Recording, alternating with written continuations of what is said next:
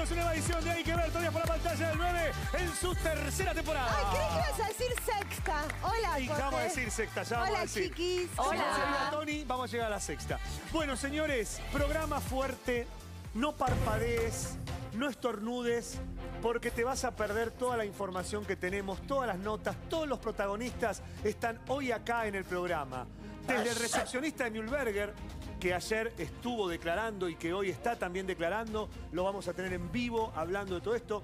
Ya hay un caso de muerte Sí. por Sí. culpa del doctor Mühlberger. O sea que la cosa no quedó en los frasquitos que te doy con placebos y alguna cosita que te doy que no hace nada. Ya hay una muerte y ya hay que relacionarlo lamentablemente con el caso Ringo. En este momento están declarando los testigos, la gente que vio, digamos, no los que lo acusan, sino los testigos.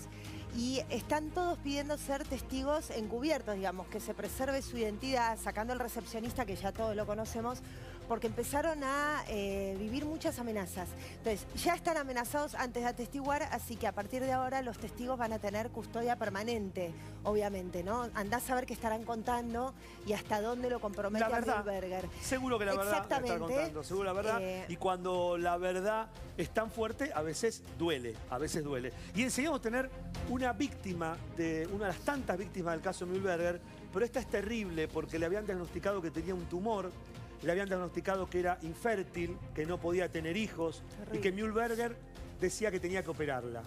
Gracias a Dios consultó otro médico. a tiempo. ¿no? Te vamos a contar Sí. toda la historia en primera persona porque ella va a estar hablando con nosotros. Un caso terrible. Y Mira, además... Sí, porque... que- no, no, espera, antes de irme a esto, Sí. quiero volver al, a- al tema de Nicole, porque ayer veíamos la entrevista de Nicole con esta doctora que decía que es una eminencia. Eh, hay un material de esta doctora, y lo voy, a, lo voy a decir en primera persona, es nazi.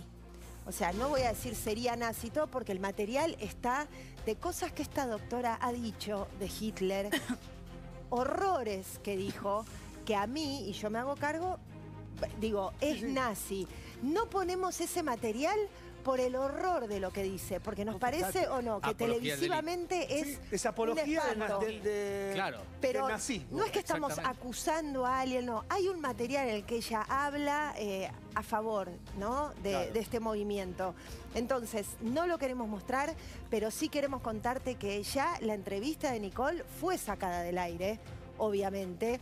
Y que Sí, de tenemos redes, una de nota de, redes. Nicole. Sí, bueno, De de, de donde la podías ver y que tenemos de nuevo la palabra de Nicole. O sea, si la sacaste de las redes, Nicole, ¿por qué? Si es una entrevista genial, según vos. Una eminencia. No, y una también- eminencia y teníamos que escuchar todas las campanas. ¿Por qué las borras de tus redes? Y también habría que ver por qué Nicole o la agencia que ella misma dijo que eh, organizaba estas entrevistas, que según ella es checa, la, gente, la agencia que la representa, elige a una persona de estas características. Sabían. Quizás no hay plata de por medio. Se coló un discurso que querían eh, que se propague, eh, antiabortista.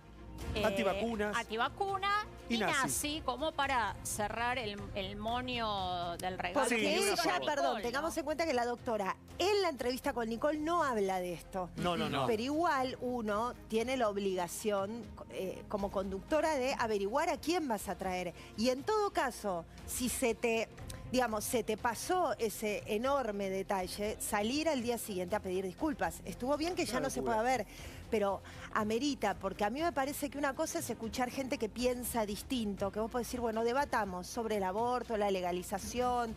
Eh, Ahora, este tema no es debatible No, no. Y, y no podés. Va, a mí me. va, No, yo son- no puedo hablar con una que persona pasa que es sea que, así. Entonces, Seguí, gente, seguí debatiendo chicos. el holocausto, seguí debatiendo el terrible. nazismo. Es No, que, que no no hay debate. No, No. No hay debate, no Lo que pasa que tenés Nicole- es, que en el, es que en el país hay muchos grupos neonazis, podemos hablar si quieren de documentales que los muestran cómo accionan, que siguen en movimiento y que mueven a mucha gente, que no se autodenominan nazis, pero que Obvio. técnicamente lo son por su accionar. Pegan, escrachan y matan. Y lo están haciendo Sí, hoy, Barbie. 2020. No, que hoy le escuchaba hablar a Nicole como que en parte se ampara en esto de que, bueno, a ver, eh, vos recién decías, una como conductora debería Ponte un poquito investigar, la informarse, ahí. empaparse, etcétera. Pero ella dice, yo, por ejemplo, cuando voy a trabajar y voy a desfilar, no investigo dónde se fabrica la ropa que voy a modelar o que voy a estar usando, como amparándose en el hecho de que ella no tenía por qué saber. Eso es diferente. No, son cosas distintas. Eso es Son dos cosas diferente. Bueno, distintas. escuché decir eso, chicos. Estamos hablando de un repitiendo de, genocidio. en el lugar donde se vos le amparó. estás dando cámara a una persona eh, y que- para mí, yo creo que Nicole no tenía idea de No, todo no esto. tenía idea. No tenía No, idea claro. que ella tenía estos No, pensamientos. no. Sí le gustaron otros pensamientos bien, de ella. Sí, que es antiabortista. Exactamente. Pero yo- Entonces, si perdón, vos yo quiero tenés- decir algo. Si vos, Sí, dale, perdóname, dale. pero Sí, sí, me dale. parece importante decir que si vos no lo sabías, hoy tenés que salir a decir... A des- a pedir "Me equivoqué disculpas". con esta Sí. entrevista. Claro. Ella y la agencia que organizó esto. Y repudio el nazismo. sí. Lo que pasa es que no hablo de disculpas, no, no, no hay repudio, no hay nada. A mí lo que me parece, y, y- y yo espero que no se ofenda a nadie, eh, no lo hablo por una cuestión de género, no digo que porque es modelo no lo puede hacer, no, no estoy diciendo eso, porque hay modelos que fueron peri- periodistas y que son geniales, y hay eh, Perdón, de las periodistas mejores- que son malísimos. Vero o sea, Lozano era modelo y de las eso, mejores no, no. conductoras, Mariana Fabiani. Que- que- Pero o por sea, eso, no tiene que ver una Quiero cosa aclararlo con la porque otra. como parece todo el mundo, todo el mundo parece Bueno, como que, yo- bueno, vos también por eso. Pero no soy hay que buena estar conductora. muy capacitado para hacer ese tipo de notas. No estamos hablando del bailando y un uno de Polino. Estamos hablando de vacunas, estamos hablando de Salud. de salud, estamos encima en un momento muy susceptible a nivel mundial de pandemia, donde no sabemos dónde va a terminar, donde hay un montón de muertos, donde estamos esperando, justamente estamos todos esperando, rezándole a Dios que aparezca la vacuna y hay una persona, doctores, que dice que no hay que vacunarse o que la vacuna es peligrosa o que hay que ver o que los que se vacunaron se contagiaron. No, que la pandemia ¿Estamos así invento. como estamos en esta pandemia? Justamente porque no hay una vacuna contra el coronavirus. Claro. Vos fíjate qué locura. Eh, yo- ¿Hay algún... eh, Claro, si hubiera vacuna, estábamos todos por la risa, calle, en estamos cine. abrazando, no tengo que estar 60 días sin ver a mi Y después vieja. dicen que la vacuna no sirve, Pero claro. por eso, digo, hay que tener cuidado. Me parece que hay, tiene que haber una legislación, tiene que haber un congreso de médicos o, o- o- o la Facultad de Medicina que agarre a esta señora de los pelos y le diga, usted, para mí lo que está haciendo es mala praxis. Es tan peligroso como, como operar mal Lo a que una pasa es persona. que- es Le está diciendo a alguien que haga algo que no tiene que hacer para su salud. Igual, todo esto que a vos te enoja, José, y todo esto que, que debatimos ayer y todo, es un horror, es ignorancia, es... Pero de golpe aparece esto, las cosas que dice de Hitler, esta mujer. Claro. Y ya, porque ya es otra cosa, no importa lo que diga, pa- pa- eh, para mí, o sea, tiene que estar presa. O sea, igual ahí ¿Entendés? se Porque entiende- los grupos, ese tipo de grupos, están presos, o sea, ya estamos hablando de algo que no... eh, No tiene Pero, lugar. pero ahí se entiende igual que Nicole, perdón chicos, pero digamos, eh, a favor de Nicole, Nicole no tenía por qué saber eso tampoco, porque Pero nosotros hoy ya debería haber No, salido eso, en eso Pero, estoy Barbie, totalmente vos- convencida, digamos, mínimo una disculpa pública, Vos eso. tenés la obligación moral Sí. ante cualquier genocidio, y hay otras personas que no han pedido disculpas en el mundo del espectáculo, este, Sí. que han hecho apología, de salir y decir, yo repudio esto por si a alguien le cabe la duda. Pido disculpas, no la conocía la señora, punto, se terminó el tema. Claro. Lo. Veámoslo, fuimos a buscar a Nicole. Fuimos a buscar a Nicole, habló de este tema, también está metida con el tema de las maquinitas que las tenemos acá, las te vamos a mostrar, porque todo se mezcla, todo tiene que ver con todo, justamente. Mühlberger, las maquinitas, la entrevista esta polémica, todo tiene que ver con la salud, todo tiene que ver con una estafa, todo tiene que ver con eh, eh, los famosos, así que vamos a ver qué dice Nicole. ¿Acá habla de todo o habla nada más que de la nota? Porque tenemos también después hablando de las maquinitas. Nicole habla de esta polémica entrevista. A ver,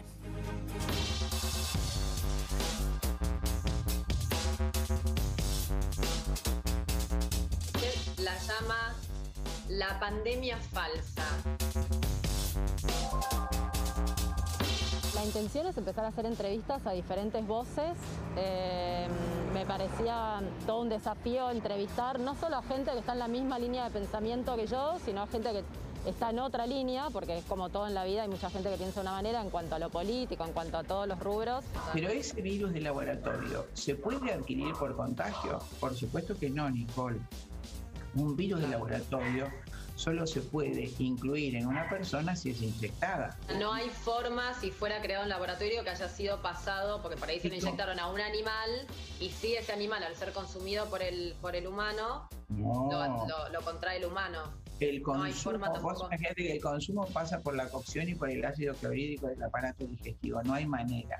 No es la primera ni la última entrevista que se le hace a la doctora Brandolino, eh, no es la primera ni la última que piensa que este virus está generado en un laboratorio y que hay un montón de cosas atrás, no es la primera ni la última que lo dice y que lo piensa. claramente saben que yo no pienso así. ¿Me preguntás qué pienso yo? No, yo pienso que es de origen zoonótico, por eso en su momento hice la tapa diciendo que si hubiera una pandemia, eh, perdón, que si no se comiera carne no habría una pandemia.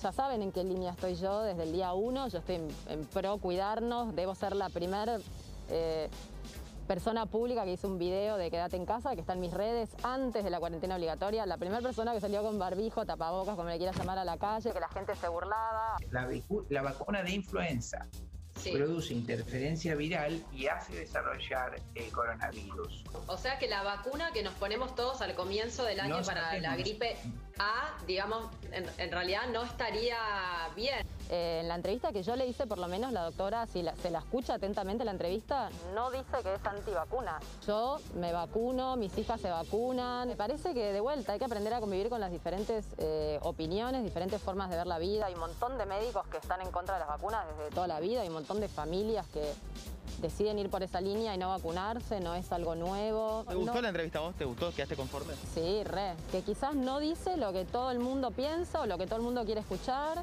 ¿Querés hablar de mí, Nicole? Esta no era una nota autorreferencial, era una nota, una persona, una doctora que piensa... Totalmente, ¿no? Se, se una la, la, la, manera. la visión, vos sos la, entrev- la No, entrevistadora. lo mezcla no, lo mezcla la gente. Yo puedo entrevistar a gente con la que pienso diferente y sin embargo le pregunto y la escucho con respeto. Viste que se habló de que, bueno, ya tenía tintes de, de nazi, comentarios homofóbicos y demás. ¿Vos estabas al tanto un poco de su visión de las cosas de la vida de la doctora o no? Mira, yo en las tres entrevistas que estudié para entrevistarla a ella, la verdad es que no, no, no estoy al tanto de nada de esos temas, no, para nada. No, no vi nada de eso ni escuché nunca nada.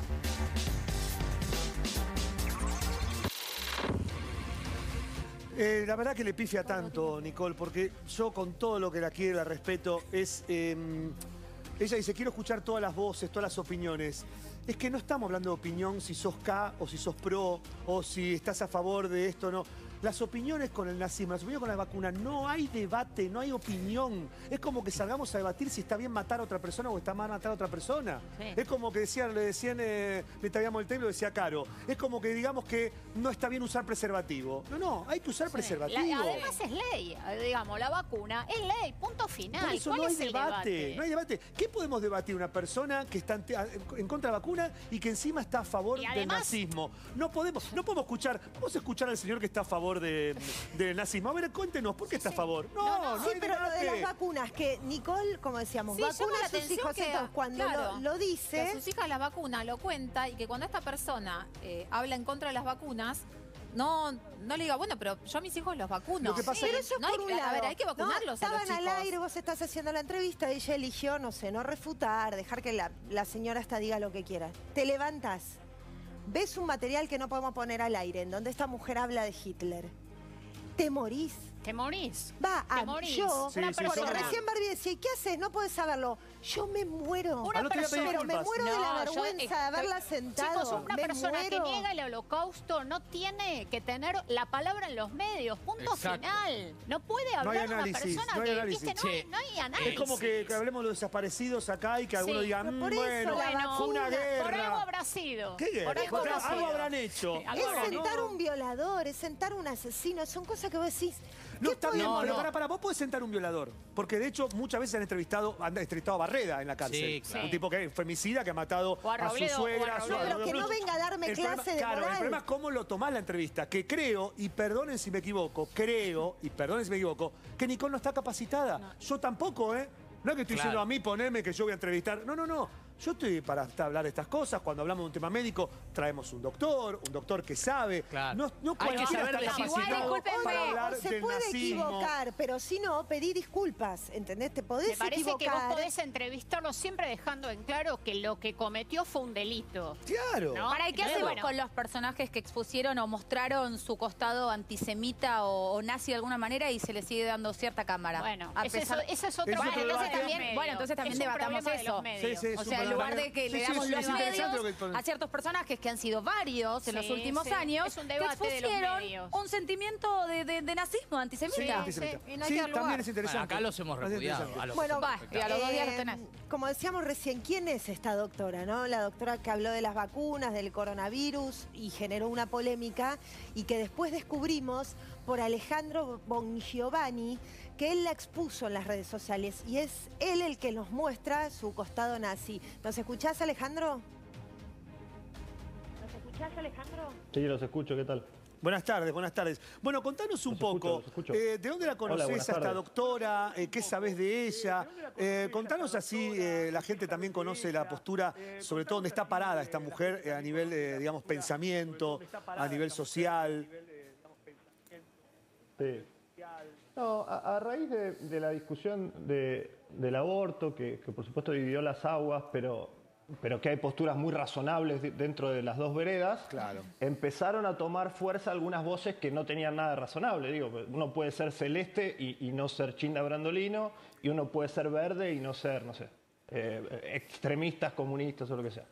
Eh, empecé a ver algunos que, que tomaba mucha voz eh, esta, esta mujer y le empecé a investigar simplemente por, por- por una cuestión de, de curiosidad intelectual.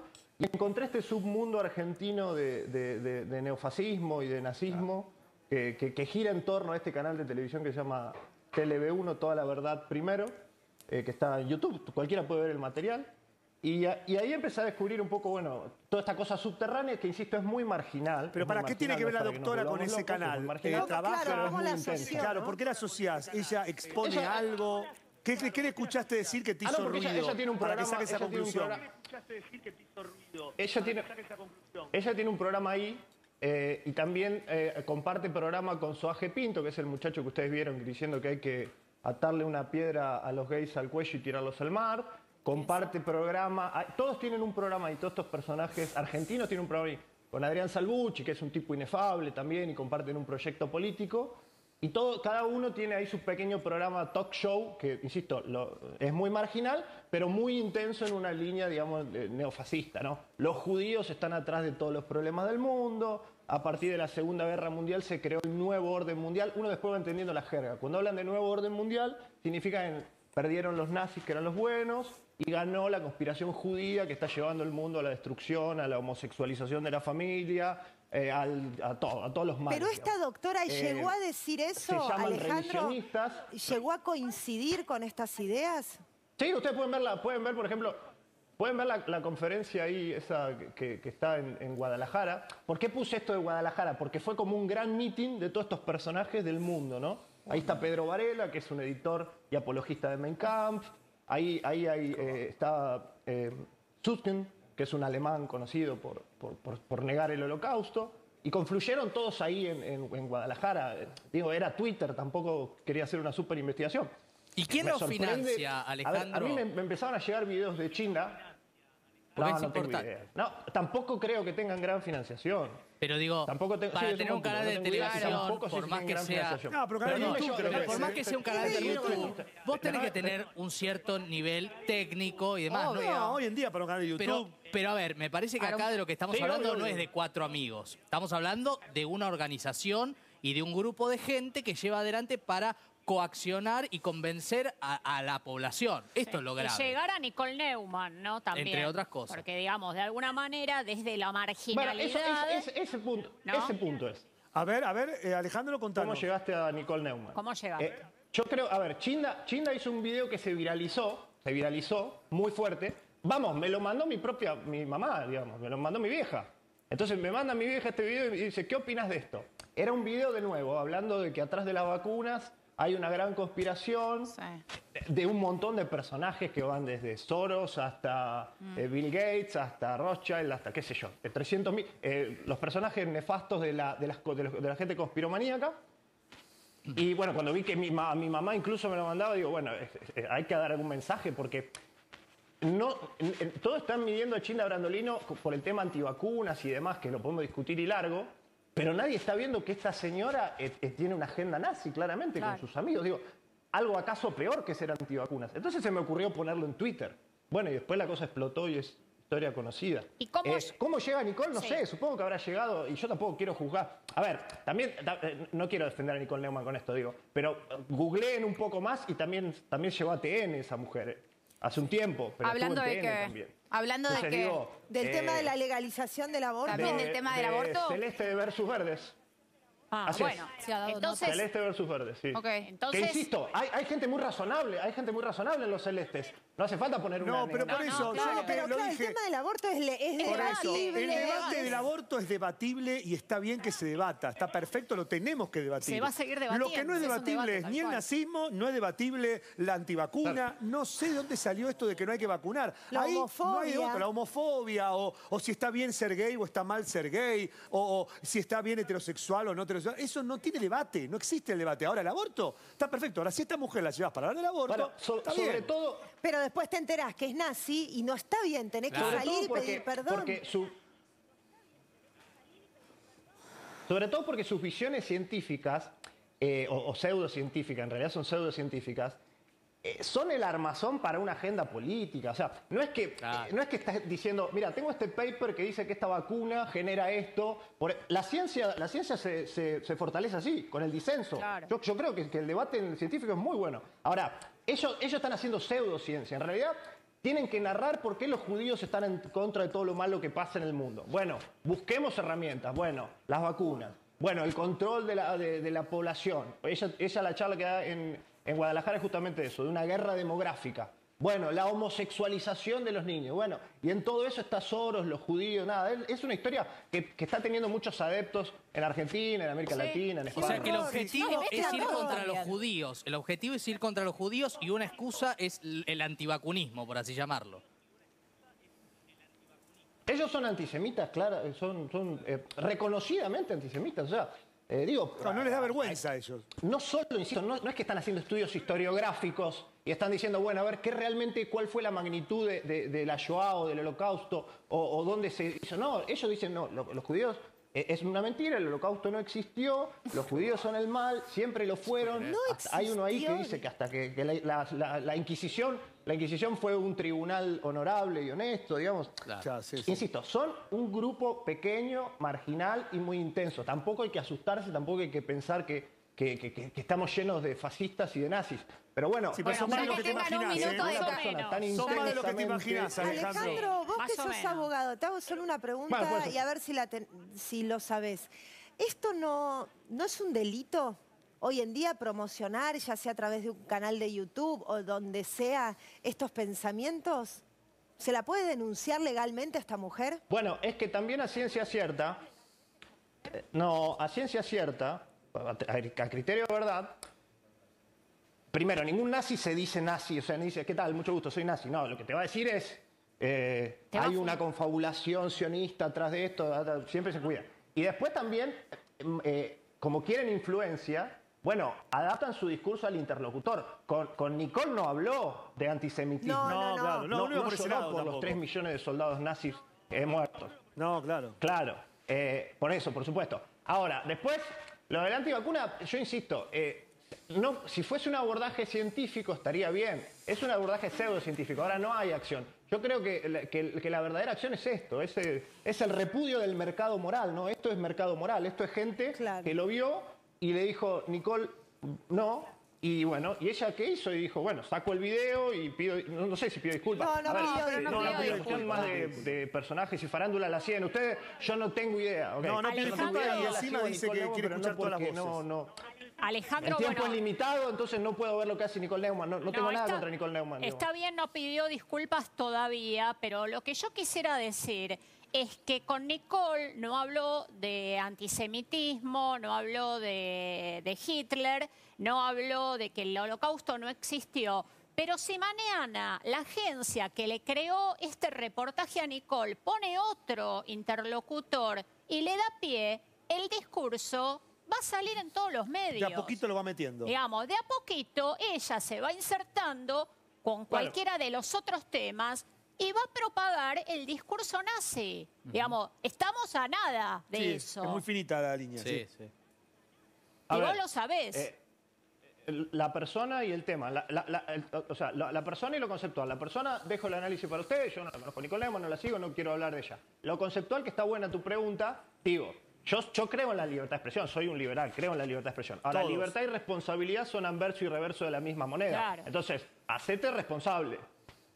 Claro. Te, te comiste un buzón, quizás fue tu productora, quizás lo que sea, Hacerte responsable, que quizás hacerse responsable es dar un paso adelante y decir, no, ojo, yo, yo banco esta agenda. Ahora, Y bueno, Alejandro, pará, pará, te quiero contar Bueno, una cosa, Alejandro, que a lo mejor no lo sabes. eh, Te quiero contar una cosa que cuento a todos. Dale. Que estamos hablando de responsabilidad de comunicar. Los que estamos de este lado tenemos una responsabilidad. Claro. Eh, si yo me equivoco en. Si le pongo, por ejemplo, a Marcela Coronel que plagió una coreografía de, de- de, mm, del bailando y al final no era y después discutimos, no, fueron los ocho. No estoy jodiendo a nadie, no, pasa nada, puede haber un debate, me puedo confundir. Es un reality. Y no pasa es nada. un reality. Ahora, cuando vos te confundís en casos tan importantes como este, hay que pedir disculpas. Y, y te voy a contar una cosa, tiene que hacerse responsable también la empresa, ya sea un canal, ya sea la empresa checa, se llama Sí, la, compañía. Checa, Checa. que también- La y te explico, de hay un ejemplo de hace muy poco tiempo, en pleno coronavirus, no voy a dar nombres, pero una de las eh, cadenas más importantes de, de noticias de este país tenía un periodista que dijo que las vacunas eran producto de los israelitas, ¿no? El, Sí, el- el sí, sí. coronavirus, Sí, perdón. sí. Era Que el coronavirus. que el coronavirus era producto de los israelitas. Tomás Méndez. Bueno, no, sí, Iván Méndez. Automáticamente, es está bien, automáticamente la cadena donde trabaja lo suspendió por 15 días. Por- y la cadena no tenía nada que ver. O sea, no lo puso a él para que diga eso. Pero la cadena, como es responsable, Claro. agarró y dijo, usted esto no lo puede decir. Claro. Tuvo que pedir disculpas. Emitió un comunicado. Y lo suspendieron por 15 días. Claro. Emitió un comunicado. ¿Entienden, eh, entienden la gravedad? sí. Digo, Hay tiene que hacer lo mismo. Nicole Neumann tiene que pedir disculpas. Se hizo responsable. La tienen que suspender o lo que sea. Porque, bueno, en este caso no habló de nazismo, Nicole. No, No. quiero mezclar porque realmente no lo habló ella. No, no, no avaló el, el nazismo no, no se ni nada. tocó. Pero sí la Pero la hay una vacuna. responsabilidad de los medios, de lo que uno dice, que se dice como hablamos, de ¿Puedo- las puedo vacunas. una que- cosita? Sí, Sí. perdón. Y hay una responsabilidad moral que es personal, que va más allá de los medios. dos cosas, claro. Si yo te, te- vos me invitas a tu casa y yo te llevo una amiga y al día siguiente me doy cuenta que te llevé una amiga nazi, Sí. yo te voy a pedir disculpas porque a mí no me gusta relacionarme con esa gente. Más allá de la responsabilidad en los medios, hay una responsabilidad como ser humano Sí, de ética. que me parece que te obliga a pedir disculpas. Sí, Ale, ¿no? ¿qué querías Sí. decir? No, muy cortito. Y esto por ahí no luce tan, ah, tan luce un poco desagradable, pero también a la gente, digo, eh, como público nos tenemos que hacer responsables. Eh, si la pseudociencia y todas estas creencias locas funcionan, es porque queremos conocimiento sin costos. El conocimiento tiene costos. Si querés entender cómo funciona el mundo, las vacunas, por ahí un videíto viralizado, viral de YouTube, no es. eh, esto es lo mismo que después, por ejemplo, ¿por qué la gente entra en, en estafas piramidales? Bueno, porque ganar plata requiere costos y porque el conocimiento también requiere costos. Entonces, como público, por ahí tenemos que ser un poco más sofisticado. No sé si a la hora de entender la complejidad de la pandemia, Nicole Neumann es un referente que yo elegiría. Alejandro. Espera, eh, espera, espera que tenemos que ver sí. lo del pollo. Porque obviamente fuimos a entrevistar a sus compañeros de trabajo. El pollo Álvarez es el conductor del programa donde, donde ella trabaja. Opinó y vamos a ver qué dice el pollo Álvarez. Escucha. A ver. No vi la nota entera, vi el extracto. A mí hay cosas que, que siempre le digo, ay, fíjate que tal vez no, y hay cosas que tal vez sí, y obviamente ella escuchará o no. Pero después de ahí a, a- a yo ponerme a juzgar a ella, no puedo. No, por, no porque, porque no, no me quiero poner en ese lugar. Es mi compañera de laburo, en la banco. Y puntualmente en esta nota, cuando yo le dije, che, ¿por qué esto? Una pregunta. eh, me dijo, no, no, pero yo no, yo no dije eso, lo dijo la doctora. Entonces, la, la defensa de ella es que, que ju- que ella no está en contra de las vacunas. Claro, ella dijo Yo, que no. yo estoy, digo, es una obviedad, ¿no? Estoy a favor de las vacunas, por supuesto. Si yo hablo de las maquinitas, no, yo no te- tengo una opinión formada, pero me la guardo para mí.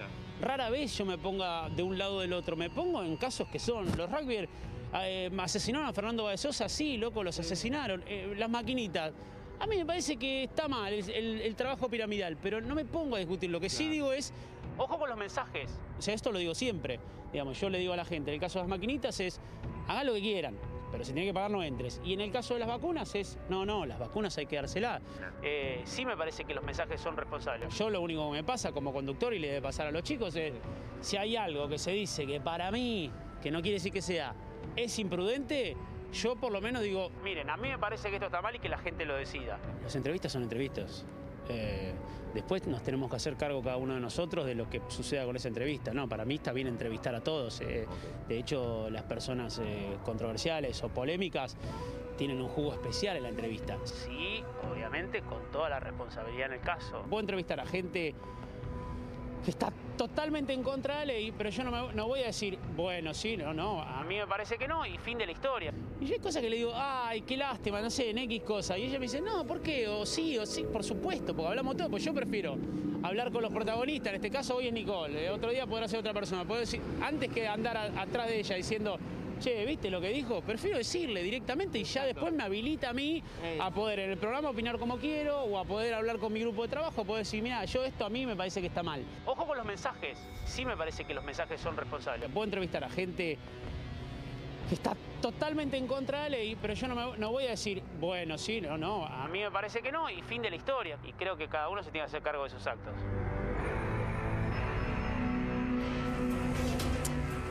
Yo vuelvo a lo mismo. Nosotros entrevistamos, desde que tengo tenemos así un programa, hemos entrevistado un montón de gente. Y a veces no es necesario poner la postura. Porque yo estoy entrevistando a una persona, estamos hablando de política, y si uno es K y uno no es K, no importa, no hay que aclararlo, porque no tengo, porque ahí sí querés escuchar al entrevistado. Si está a favor de, Polino o está en contra del que bailó, no hace falta que yo aclare de qué postura estoy. En este caso, sí hay que aclararlo, porque está mal. Eh, el eh, antivacuna está mal, vuelvo a decirlo, hay que, no hay que debatirlo. El, el nazismo está mal, hay, hay- no hay que debatirlo. Entonces, sí tenés que marcar la diferencia. Porque el mensaje No es lo mismo, peligroso. porque el mensaje es peligroso. Claro. Por eso, cuando Nicole escucha la antivacuna, no puede decir, bueno, lo dijo ella, lo dejo pasar. No, vos podés decir, lo dijo ella, lo puedo pasar. Si dijo, eh, para mí Cristina es una ladrona o Macri es un ladrón. Porque lo dejo pasar porque es una caso, opinión y está bien caso, porque lo puedo debatir. cuestionarlo, No estoy de cuestionarlo en todo acuerdo, caso. no me Pero yo lo parece que cuestionar porque es su opinión y está bien que sea su opinión. Pero estás hablando de delito. No, estás- No, pero, claro. Pero es, un delito, pero es un delito que está bien, pero no- hay un debate. Yo puedo debatir si Macri robó, No, por no, ejemplo, no, no, o si Cristina digo, robó. hablamos de las vacunas. no, por eso, hablo- ahí no hay debate. ah, por eso, Por eso, vacuna, pero quiero hacer eh, la aclaración porque nos van a empezar a decir, ay, ustedes tampoco repreguntan, ustedes tampoco. Y a porque veces hay no, momentos, y a veces no, no. y decimos, y acá nos repreguntamos y nos equivocamos. También ¿Cuántas puede veces nos pasar. pasó? Sí, lo hemos dicho acá. ¿No? Sí, sí. Pero digo, no es todo lo mismo. Por eso repito, no es lo mismo debatir si la coreo que copió eh, eh, Cintia Fernández estaba bien o estaba mal, o debatir si el antivacuna sí o si el, si antivacuna no. No es lo mismo. Eso quiero quedar bien, que quede bien claro. No, no es todo el tiempo eh, aceptar lo que dice el otro, ah, lo dijo el otro. No, no, no.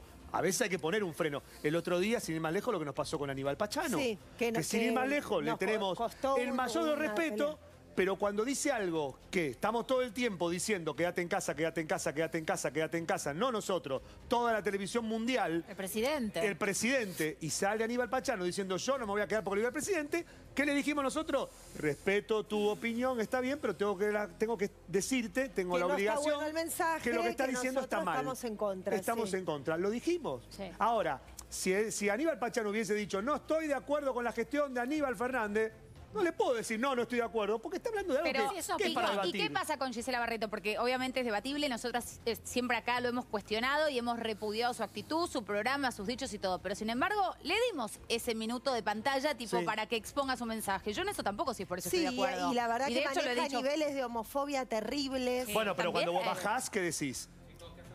Está mal lo que está haciendo. No es que lo bajamos y aplaudimos, che, qué No, bien Gisela. obvio que no. Bueno, pero Eh. igual le estás dando trascendencia, lo mismo que esta mujer. ¿La has visto, Alejandro, a, a Gisela Barreto, que también tiene un programa eh, donde ha tenido dichos homofóbicos? ¿La has visto? Ah, sí, sí, sí, vi, vi un- vi un pedacito. Sí, vi un pedacito.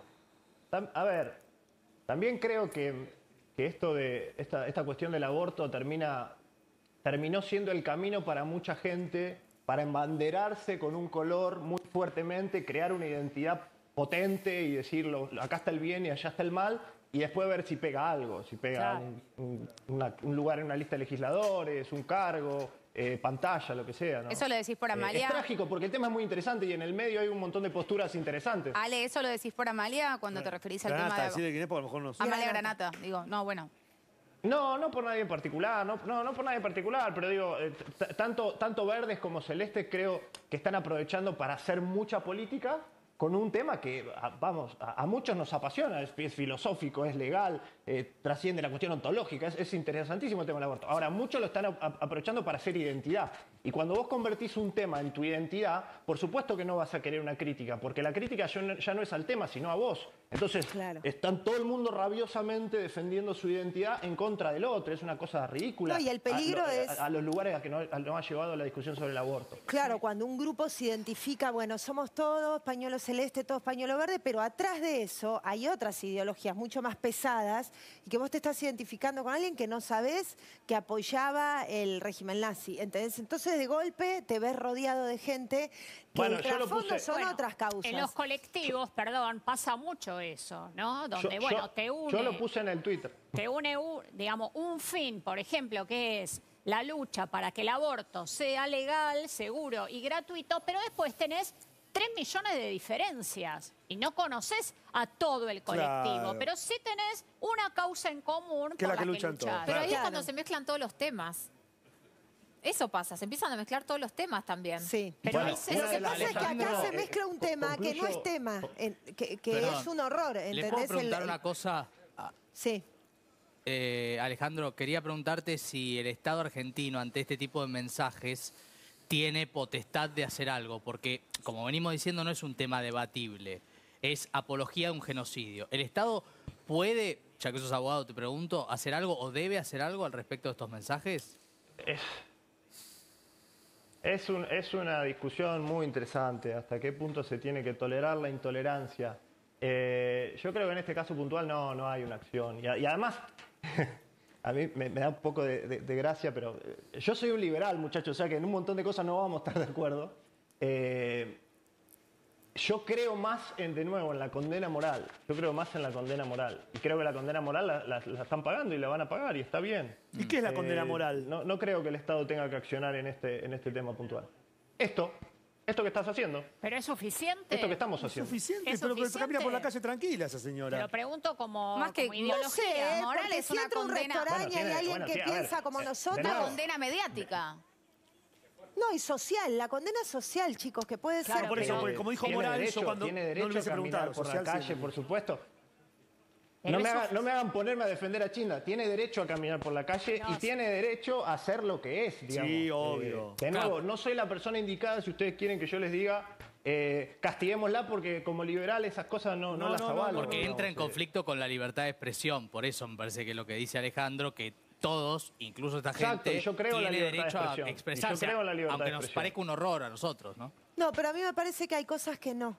Yo estoy a de mí me con vos, parece pero, que no. Pero por está el del debate legal. holocausto Porque a veces no. es apología No, también. A mí me parece Para que mí no es podés apología. hablar, Sí. no podés pensarlo, no podés estar de acuerdo. A mí me parece, y es un horror a lo mejor para vos, Alejandro, a mí me parece A mí un también me horror. parece que no. Yo veo esas imágenes y No, yo no, no, es un horror, puedo es un, pensar es un debate que, re interesante. bueno, lo, re puede, lo puede pensar y es su manera de pensar. No. No. Ahora, O sea, que lo, lo, lo piense de puertas para adentro, digamos. Pero Claro, también es un pero si horror. yo digo, está bien salir a matar gente en Claro. televisión, y viene el ENACOM, o entiendo que es el ENACOM, y me dice, usted no puede decir esto, es una barbaridad, multa. Y a esta gente en un canal de YouTube hay libertad de expresión, no entiendo bien el criterio. No, no, claro, eh, de nuevo es un tema fino. La apología del delito, eh, vamos, es un delito y, y yo no estoy totalmente en contra de la apología del delito, pero de, de nuevo, es un tema fino. ¿Hasta qué punto lo- los temas que vos mencionaste se convierten en una incitación a cometer delitos o no? Claro. Eh, pero de nuevo, podemos estar discutiendo filosóficamente esto, Sí.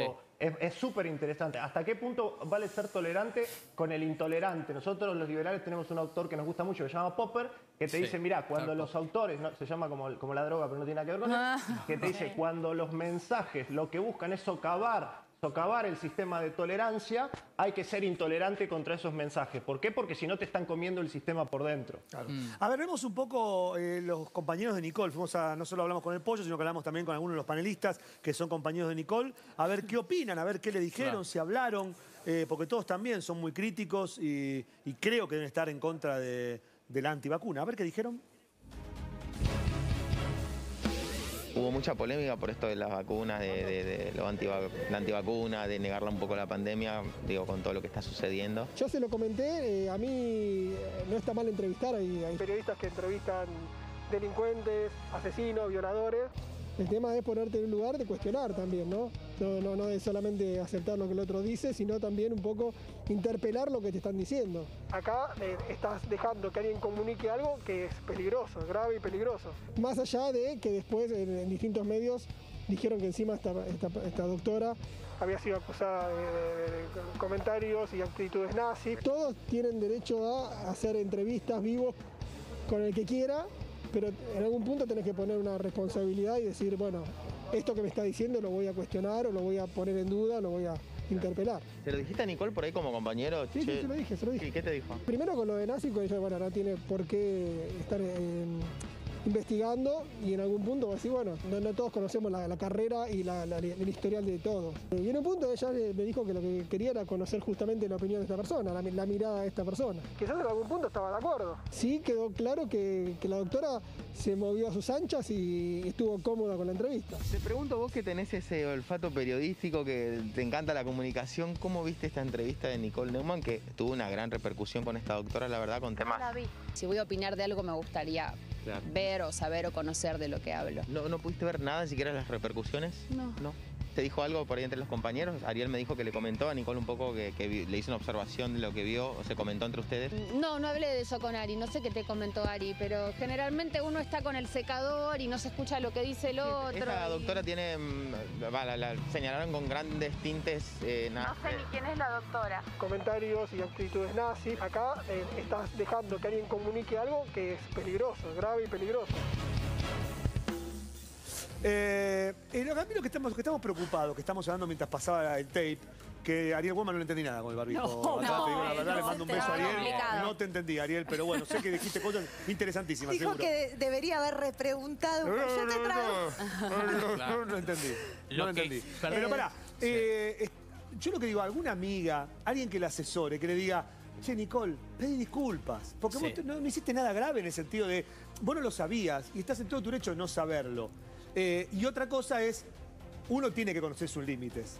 Yo diría, no me meto, no, chicos, déjame que entreviste a, a- a- a conductores, a gente de- de- del ambiente. A Mica Viciconte. No, a mí sí, no me hagas. pues, Hasta a Mica Viciconte déjame que entreviste, si querés. A Cubero. Pero no me hagas meter en el quilombo científico. Si no, no. Pero ella Sí. tiene un Eh, ¿Para interés. qué? Para que todos te gastemos, Pero para que ella- todos te digan. No, pero en uno- otros canales te dicen burra. Che, en perdón. otros canales te Pero dicen. ¿para uno qué? puede entrevistar a un doctor y preguntarle, y si ves que dice algo que discutir. te parece que no está bien, Sí, debatirlo. pero es lo que Le dice decir- Alejandro. Para hacer ese tipo de entrevistas, tenés que investigar, tenés que leer, tenés que re- repreguntar. No estás hablando de un uno en el bailando. Pero no es inocente No estamos ella hablando de eso. a- no es inocente, no es una, digamos, una persona que al representante o a la persona que le dice tenés que hacer esta entrevista o querés hacer esta entrevista, ella no le puede decir, no, ¿sabes qué? Deja. Ella tiene un interés en que ese mensaje se conozca Claro. de esa manera. Lo que pasa es que el Pero ¿por qué descargo de Nicole, así?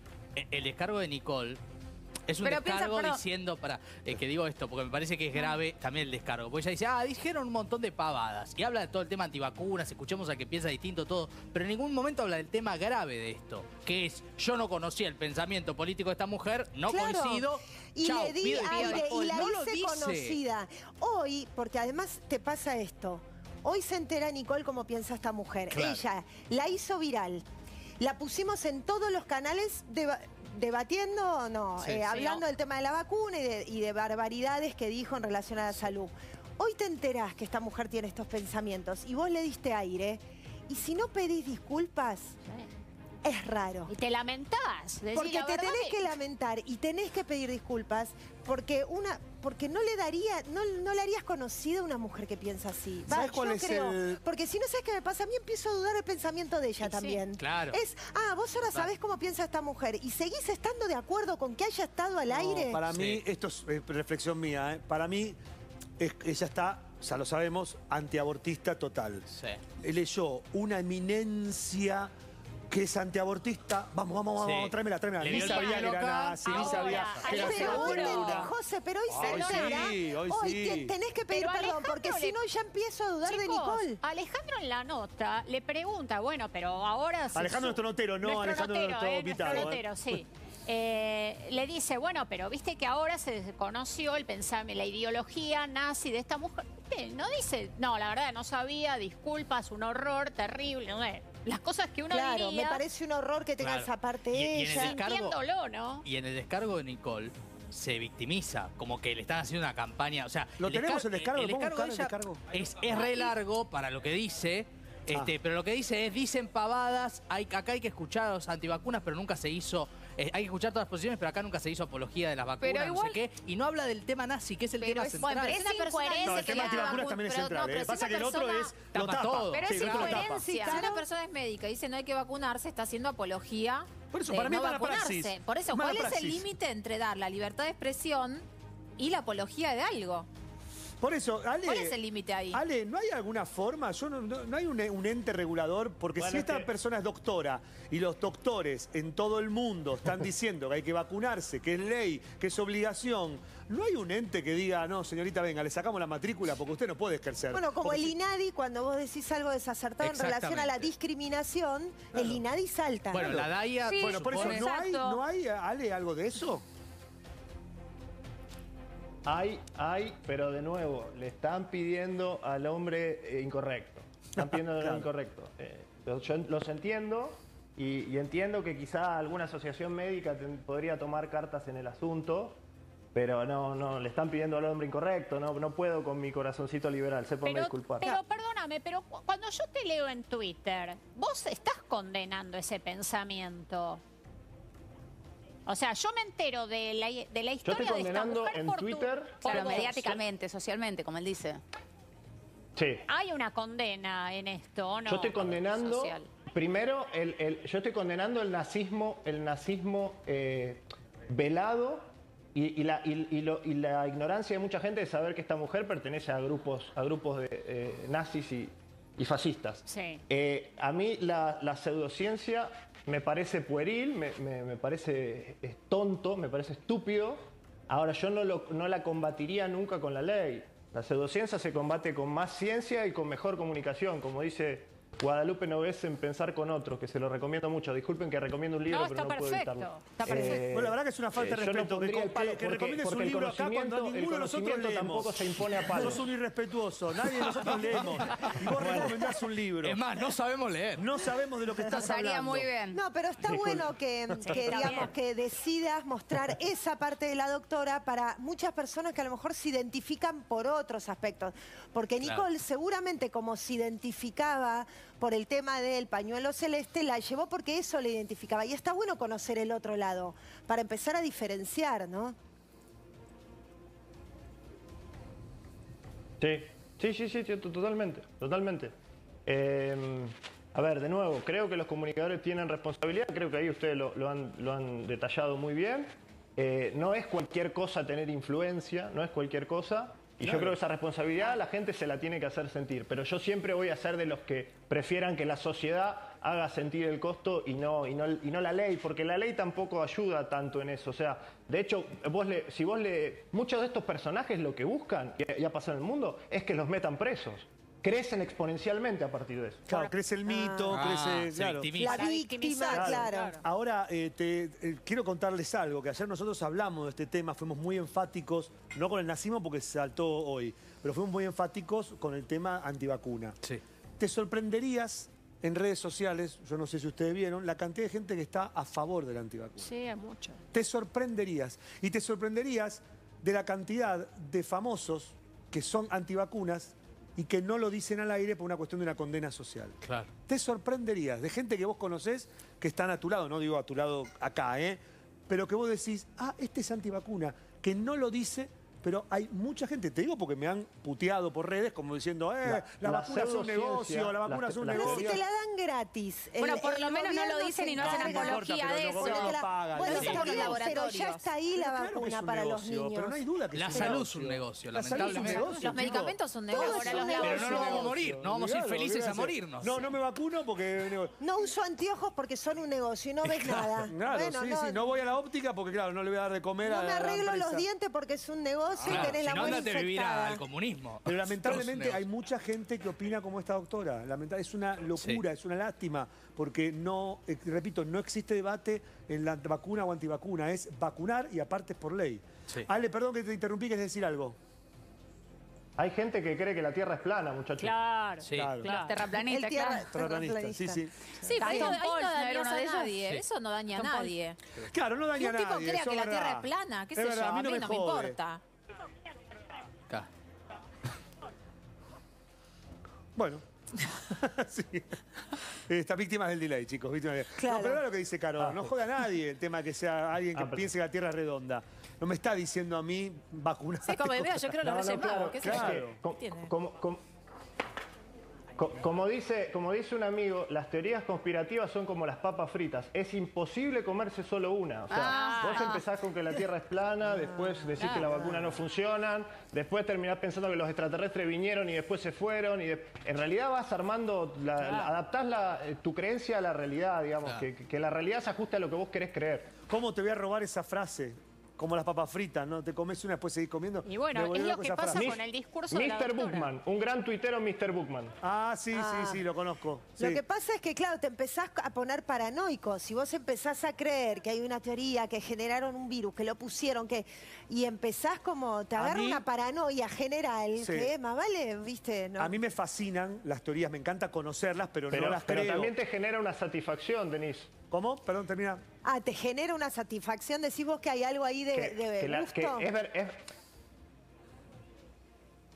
Claro, porque vos conoces una verdad que nadie conoce y eso te hace sentir especial. Te hace especial, es Incluso la- lo, lo- lo- lo relacionás con que hay, hay enemigos y fuerzas oscuras con las que vos estás combatiendo de algún modo intelectualmente. Es bastante satisfactorio. Claro, Claro, y forma, y además por ahí una vida que está un poco aburrida, de golpe sos James Bond. Sí, ¿no? sí, no, pero- pero hay- claro, tenés esta cosa de la información, de que si no sería bueno, ahí nos enfermamos, hay que quedarse en casa. No, pero aparte porque, nos encanta eh, conocer. Por ejemplo, hay teorías conspirativas sobre las Torres Gemelas, que en Sí. realidad no las tiraron, había una bomba que implosionó, que implosionó porque cómo cayó. Bueno, si mismo hay- hay sobre el coronavirus actualmente. Sí, de también, todo, por eso, o a mí me sea. fascina conocerlas hasta todas. Paul McCartney, que es otro. Hay cada cosa, sí, bueno, chicos. bueno, que Elvis Presley murió hace 10 años acá en la Argentina. Sí. Claro. Eh, bancanos un segundo, ¿vale? Que vamos a seguir debatiendo con vos porque Lo queremos estamos meterte. exprimiendo, Te Ale. Estamos exprimiendo. queremos que ver tu postura, ver qué opinás del tema de la famosa estafa piramidal y todo eso. Ya enseguida, ¿eh? Muy bien, y vamos a hablar del tema de la estafa piramidal y este es el producto, te lo vamos a estar mostrando. Este es el producto del conflicto. Esta sería la maquinita. Uno de los productos. Sí, hay unos hay cuantos, ¿no? varios, Hay sí, hay varios. varios, hay para el Está la de cuerpo. limpieza. hay, eh, esta es la famosa maquinita que, que venden, ¿no? Las famosas, que algunas las venden directamente y cobran comisión y otras entrarían eh, reclutando gente en el famoso sistema piramidal, ¿no? Después la vamos a mostrar cómo funcionan. Ahora después vamos a analizar por qué se dice que el sistema piramidal es una estafa. Ayer un poco lo hablamos, es que en realidad justamente es piramidal porque la que arranca o el que arranca, en este caso Marisa Abrel, fue una de las que ayer te mostramos que arrancaba. Claro, ella la, hablas con ella y te dice, no sé la plata que estoy ganando, espectacular. Los de abajo te dicen, no sabes la plata que estoy ganando, no tanto como Marisa, pero estoy ganando. Lo de abajo es, estoy ganando, no tanto como de arriba, pero Marisa. Hasta que llega el último, que no se la puede vender a nadie, porque no es un producto, digamos, como que es unas cremas o, o- o- o un Que comestible. Claro, que se acaban y vos podés comprar más, te podés tener una clientela. Yo Acá te sí vendo a vos cremas. algo. No, esto- todos los meses Sí, te encargo y- los productos de igual En limpieza. este Claro. imperio sí, hay, digo, imperio hay de todo. Hay Sí, pero yo te vendí esta maquinita. cantidad de- yo te- Después y, se venden y las no te la cremas vendo de para nuevo dentro de un año. Sí, pero tiene Igual cremas adentro, que es lo que realmente Sí. cuestan mucho dinero. Chicos, el foco está en el sistema piramidal, no en el producto. El Claro. producto El bueno. producto es puede bueno. ser bueno, malo, más o menos, no importa. Es otro análisis Caro, ese. barato. Eso, es al margen. El Es al margen, porque el negocio, la estafa, está en el sistema. ¿Por qué hay que aclarar a los- a las famosas? Porque todas, absolutamente todas, incluso Barbie, todas dicen, chicos, a mí no me dijeron nunca que haga eso. No, claro, porque a las famosas no le van a decir porque están arriba, no serán la primera, la segunda, pero están arriba de la pirámide. La cuestión es que cuando llegan más abajo, que vos ni te enterás, Pero si es yo a la no que le tengo piden la gente plata. debajo. Hay, digamos, no Pero metamos todavía hay pero no más gente metamos abajo. todo. No, no metamos pero todo en la misma Pero bolsa no- porque no es lo mismo y estamos, me parece, Es como que no estamos desinformando. hablando de vos, Barbie, ¿eh? No, Estamos no, hablando- pero él hace Pero vos no referencia- vendés tú- piramidal. Claro, vos no vendés Por piramidal. eso te estoy Por diciendo. estamos hablando de la no metamos todos, a todos, en la misma No, bolsa. pero vos porque estás hablando de la piramidal. Porque todos me dicen, a mí no, a mí eh, me la regalaron. Claro, te la regalan para que vos justamente, como sos influencer, tenés millones de seguidores en Instagram, para que Reclute justamente gente. reclutes. Pero en ¿A general vos te, las pagan, ¿A vos te parece casualidad? Sí, ¿Te parece casualidad que todas estén usándolo? Es una estrategia de marketing, tiempo. chicos. Al mismo Es una tiempo. estrategia de marketing. Y otra cosa que también hay que tener mucha atención. Ninguna, o por lo menos las que vi yo, a lo mejor me morfea alguna y di- discúlpenme, pero lo que vi yo, ninguna la nombra la marca. No la nombran. No, pero tenés que ir a un link. Por eso te digo. Que te va directo no por el tema nombran. Y cada una tiene un link distinto. No es que dicen, porque yo, por ejemplo, si yo hago la publicidad de no dolerte, voy a- porque es un chivo que tenemos acá, y digo, uy, yo tomo no dolerte, qué bueno que es no dolerte, automática pongo, automáticamente abajo, lo hacemos todos, pones arroba no dolerte. Sí. Para que la gente identifique la marca. Sí. Acá ninguna identifica la marca. Sí. No hay ninguna que diga, es esta, se llama tal, o. eh, y cada una tiene una cuenta distinta. Y no dicen nada de la marca. Una se llama, por ejemplo, arroba piel saludable, otra es arroba qué linda cara tenés, arroba. eh, ninguna dice. Eso también es llamativo. Sí, y además, perdón, más un, un detalle corto. Hay un tema social. Llegás a un momento en la pirámide social tan abajo que hay gente que no puede pagar 20 lucas. Eso igual, Eso, ¿por qué le que vas a robar? Pero para, si nadie la te marca no te está pagando. vos. nadie te obliga. A comprar. A vos te paga, a vos te el polvo, lo que sea, para hacer un chivo. Entonces, es ¿por qué? negocio. Pero y bueno, y acá también es un negocio. Pero ¿por qué, te, por qué vos mencionarías o robarías a una marca que no te está pagando? ¿Y por qué la promocionás entonces? Porque sos re buena persona. No, porque estamos diciendo que tenés una comisión de un 5% Y bueno, sobre eso. la venta de Y pero cada... bueno, si, tenés- si yo tengo un 5% de no dolerte. Pero está bien, lo pero yo nombro digo, no y desde la ignorancia, ¿cuál es la diferencia entre eso y No, vender unos No, claro, zapatos, uno promocionar los zapatos que estoy usando, que la chica que me vende. sigue quiere esos mismos zapatos? pero vuelvo a hacer la misma, la misma salvedad. Y lo dije ayer en Twitter y muchos se enojaban.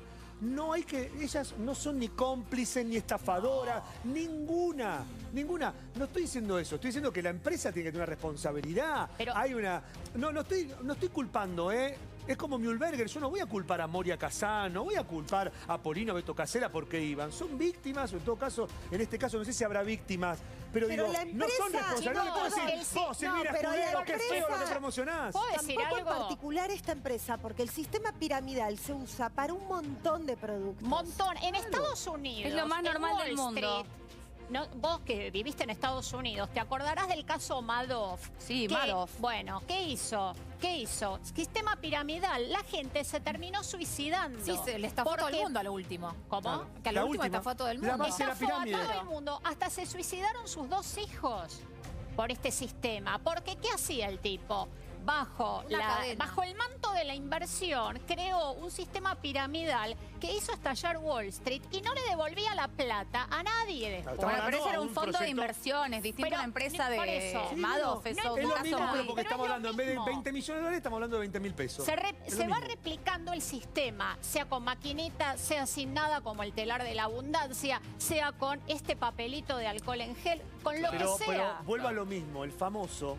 No podemos estar googleando el eco. Yo no sé eh, los productos que tengo, qué contiene. Yo leo, confío No, en pero una además entidad que lo regula. El producto Claro. es bueno y las famosas eso, lo usan. no- Entonces, si lo vendes a comisión. Pero por eso quiero que pasa exhibir a la cuando vos- famosa. claro. Por no eso, pero tengo acá que compras un producto que te dan, no es que vos pones un dinero como el telar de abundancia, que después es un Claro. dinero que Vos desaparece. tenés que Ahí Vos sí no ponés dinero, hay gente Hay abajo de la dos base que sistemas. sí. Está bien, pero por eso Si digo las vos famosas. tenés- A mí esta maquinita me la ofrecieron un montón de veces. Yo no la quise comprar, pero tenía que hacer lo que hacía Barbie. Pero qué Que era, trabajo- la compras y después te llevas una comisión. Yo no quise, pero si yo la hubiese comprado y la usaba y la promociono, ¿yo qué culpa tengo? Pero ninguna que Pero nadie está No, pero por eso No, pero ¿dónde está la pero estafa? pero- Ahí, ¿dónde está la, La estafa es que si Ahí, vos- en lo que dice No, Caro. pero- ¿Dónde pero- está la estafa? Pero la estafa no es de No, los pero famosos. vamos a los ma- la a los estafa es en el abajo. sistema. El sistema es el... Pero bueno, hay quienes dicen no porque los famosos están arriba de la Pero pirámide, entonces de quienes están debajo. No, bueno, está haciendo, los pero famosos, está porque exponiendo el tema de los famosos. Si nos quedamos en los famosos, no vamos a entender qué pasa en la pirámide. Pero por los famosos se hizo popular este Sí, producto y hoy claro. está, en boca bien. de todos justamente por la promoción que tuvo a partir de los famosos. Perfecto, pero termina siendo una anécdota que sean famosos, porque lo que hay que avivar a la gente es que para trabajar vos no tenés que pagar. Si vos tenés que pagar, eso no es un trabajo, es una estafa. No, bueno, pero muchos, pero ahí ahí está la bajeza porque dicen, no, no, no es, estás invirtiendo. Estás Es como que vos le invirtiendo digas como a un tipo que vende camisas que no compre camisas para vender. No, porque vos cuando vendés camisas no estás reclutando gente. Pero vos podés comprar para uso personal y no necesariamente nadie te obliga a tener ningún esquema piramidal ni No, tener gente debajo trabajando no, para pero vos. Barbie, pero- Son dos pero cosas Marcela, diferentes. perdón, O yo no conozco uno. el sistema, Pará, o sea, claramente. Pero Marcela está hablando del sistema piramidal. Vos estás hablando de otra cosa. Claro. Ella está hablando del sistema Vos no entraste en el sistema piramidal. piramidal. Claro, No, claramente que no, No, pero digo, a ver, Y aunque hayas como entrado- yo, hay un montón de gente que se pudo haber comprado la máquina para uso personal. Y aunque hayas pero no entrado- Entró ellos. el sistema piramidal. Ella está hablando del Pero sistema. olvídate, Pero- de la, olvídate de la maquinita.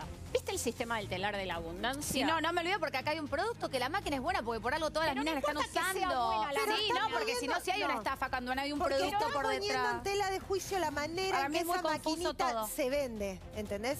El, el, tema es cómo No, se, es- se vende es que, esa máquina. Es que nos quedamos en que la máquina es buena. La máquina es perfecta, ponele, no- ni la conozco, pero te digo, la máquina es perfecta. No, no es el debate ese, claro. El debate es el sistema que utiliza para venderla. ¿Por qué utilizas ese sistema? Porque el sistema termina estafando a la gente.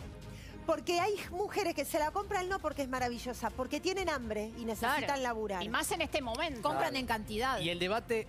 eh, Para el debate, el debate 17 mil pesos para una mujer que no tiene trabajo y que desesperada quiere salir Pero a nadie te está diciendo esto es una fuente de trabajo. Uno Sí, está promocionando. sí, sí, Bueno, sí, eso es lo que compran en digo, no es tu caso, pero hay muchas Claro. famosas Pero que hacen lo mismo que decía Jamín Stuart, que después tuvo que arrepentir. Es decir, somos dependientes, nos tenemos que necesitamos jefes, es espectacular, tus horarios. manejamos los no, horarios, vos sos tu propio jefe, no después vas a tener empleados. A ninguna famosa de las que Sí. sigo, que son un montón. Sí. Bueno, Pero yo no escuché. Marisa Abrel, Lo de Marisa yo a Marisa no la ¿qué sigo, me acabo de enterar ayer. O sea, Bueno. ni sabía que estaba en este Pero tema no, de pero coso. hay, hay, hay, hay famosos. Pero, Pero si pero vos escuchás pará, el me dejan un segundo hablar. Marisa He escuchado famosas promocionar, obviamente, el producto, lo bueno que le significa, como puede ser ese producto, como mañana puede ser otra cosa. Sí. Pero no fomentar una herramienta de trabajo a partir de la inversión mí de comprarse la famosa, maquinita. Y no voy a Disculpen. decir quién es, una de las famosas que promociona me dijo, che, ¿querés entrar? Y entonces vos entrás, Ah. vendés y yo te, te, te pongo, o ¿Es la misma que llamó mi mujer? A reclutar. Ay, no sé, no hablé Bueno, ahora con te Moni. digo, porque también la llamaron. Esperá, vamos, estamos hablando de Marisa Abrel, que fue la, la pionera en todo esto. Claro, estaba en la punta de la pirámide, obviamente les fue muy bien. Y otra vez digo, no la vamos a acusar a Marisa Abrel de nada, ¿eh? porque además a ella De le va nada, bárbaro. De nada. Vean cómo lo promocionaba Marisa Abrel. Cuando yo escucho Somos no esa es mi vida, porque somos somos mi familia, somos mi equipazo de nuevos líderes de son mis uplines, es la familia Tillotson que tanto me apoya y me ayuda y yo soy puro agradecimiento, quiero brindarles lo mejor de mí siempre, estar presente en cada momento que lo necesiten. Para mí también es la oportunidad de trabajar en equipo. Siempre soñé con tener un equipo y de tirar todos hacia el mismo lado, de ir todos en la misma frecuencia, en la misma sintonía, porque estamos todos motivados para lograr nuestros sueños. Desde el día que yo vi la presentación por primera vez, sentí en mi corazón que esto era lo que yo estaba necesitando, que esto era lo que estaba deseando, buscando, pidiendo. Yo vi el sistema de negocios y realmente dije, esto es lo que quiero. Yo tuve la visión. Me da armonía, me da crecimiento personal, profesional, económico y espiritual. Bueno. ahí teníamos. Fíjate que el mensaje es muy también eh, espiritual, ¿no? Sí, esta sí, cosa, sí. como yo repito lo de Bueno. Jamil Stuart, esta cosa de empoderate, vas a estar bien, vas a tener tu propio. Que la verdad que está bueno, digo, Sí. ese, estímulo. Pero utilizan ayer, el feminismo, este, ¿eh? Ayer yo no, no, no vine, pero escuché en el mensaje este de Marisa Abrel, ¿no? Vamos a terminar con hambre en el mundo, una cosa así. Y, Ferna- sí, y a Fernanda Iglesias, que hoy no vino, pero le llegaron mensajes, me pasó algunos que responden a esto que decía Marisa Abrel de gente que estuvo reclutada Para esta misma empresa. para esta misma empresa. Hola Fernanda, yo estuve en el equipo de Marisa Abrel y era insoportable realmente. Todo el tiempo pedía a todo el equipo que hicieran los puntos. Eso significaba que si no podías vender, que los compraras los productos, cada uno para tener stock y así hacer los puntos. O sea, no lo podés comprar, eh, no lo podés No lo vender, comprar- compralo vos, pero compralo entonces ella vos. cobraba de esas compras. Pasa que si nosotros no hacíamos puntos, ella tampoco. Yo jamás puse un peso y me abrí, pero muchos sí invertían. Y después no se lo vendían a nadie y terminaban con plata perdida. Ella solo se preocupa en hacer los puntos a costa de que los demás lo hagan, como sea.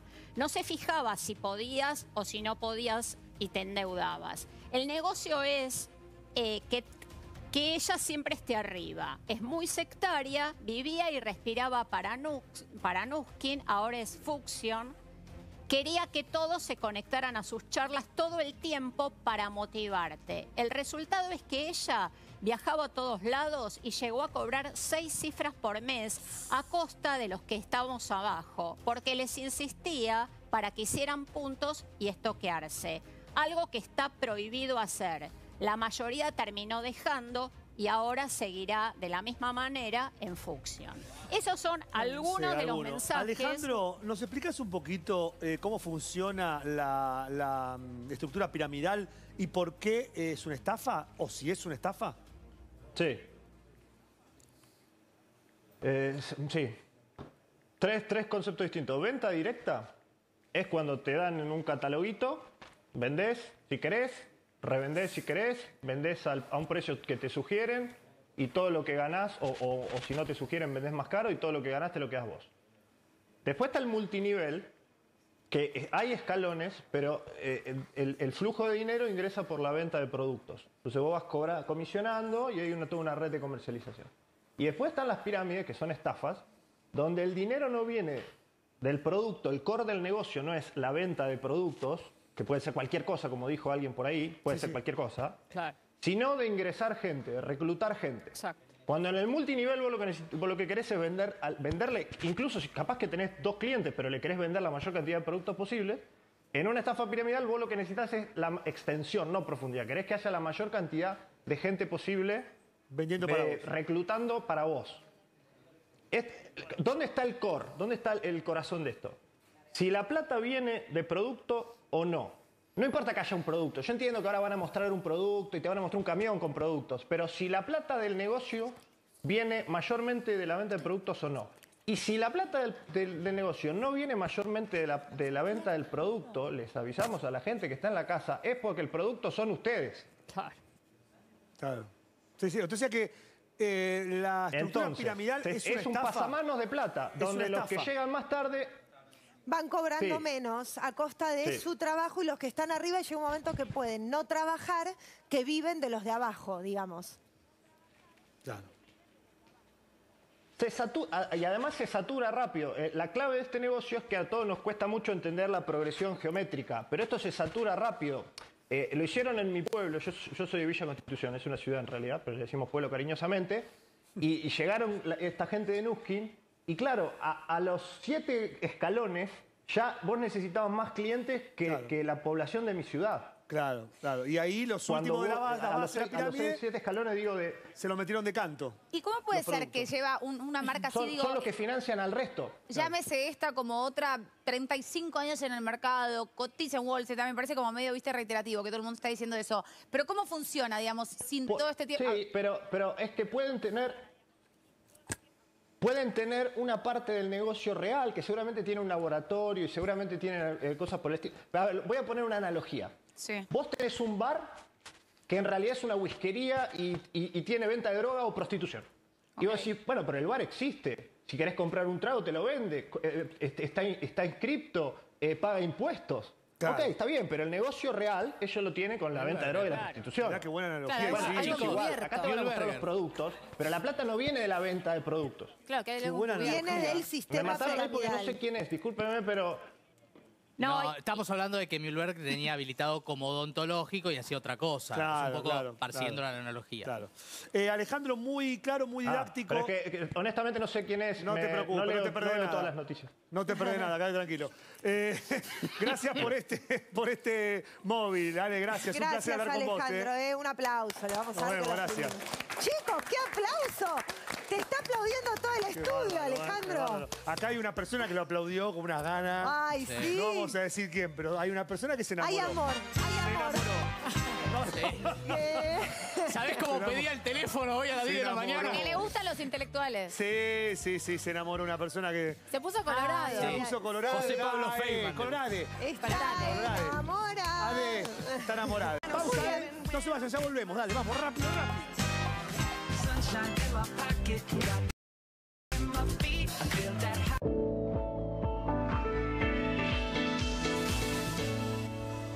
Nos vamos al móvil que está Ale Castelo con Patricia Terán, víctima de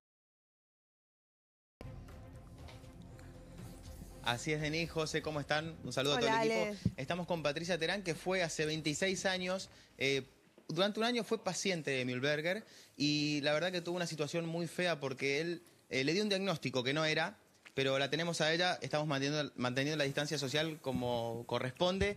Bienvenida, hay que ver, te escuchan del otro lado José María, Patricia y Denis. Hola, ¿qué tal? Buenas Patricia. tardes a todos. Bueno, ¿Qué tal? ¿Cómo estás? Bueno, contanos, perdón, ¿hace 26 años fuiste a lo de Mühlberger? ¿Escuché bien? Hace 26 años, sí, porque yo vivía en ese momento en Luján. eh, y Mühlberger estaba de moda, era el ginecólogo de moda en, en el Ajá. pueblo en aquel momento. Eh, yo era muy joven y bueno, él fue mi ginecólogo. Eh, no podía quedar embarazada, así que me hizo un tratamiento, en principio con unas ampollas. Pero eh, pará, y pará, pero primero, ¿por qué me- fuiste? ¿Te recomendó una amiga? ¿Lo viste en la tele? Porque yo no me acuerdo haberlo hace 26 años en Mühlberger, no me acuerdo No, haberlo no, visto. a ver. Era conocido en...